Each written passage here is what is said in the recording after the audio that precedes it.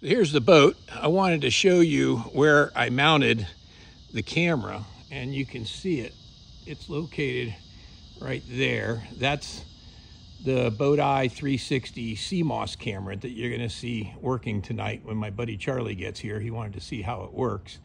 And the reason why I mounted it there, I actually 3D printed that mount out of ABS and you'll see how it was a lot easier to wire because if I put it on the top of the over the flybridge, I would have had to bring the wires down those little tubes and they are completely packed with wires for radars and solar and all kinds of communications and satellite and stuff.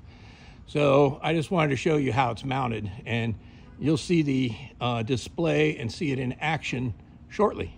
Thank you.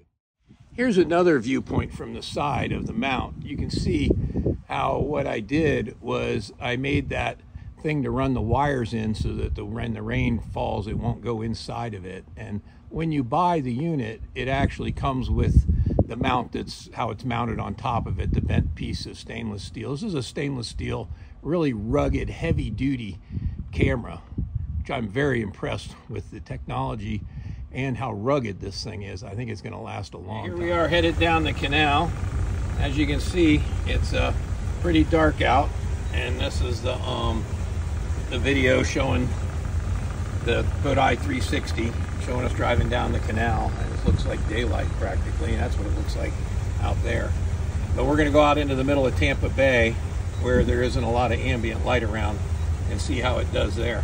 Okay here we are headed out out of Tampa Bay or out into the bay and you can see how well this thing works.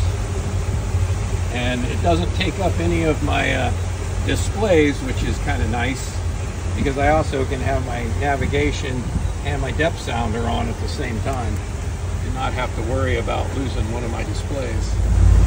This is what we're looking at for driving at night. I don't even have to look up because when I do I can't see hardly anything at all except I can actually see the Skyway Bridge in the distance.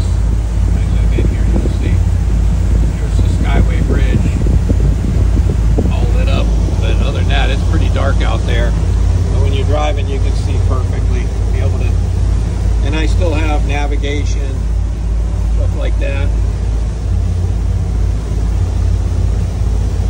Pretty incredible. Here's a boat. Can't really see it, but there's the boat right there. Shine the flashlight, shine the spotlight on it. There you see the boat now.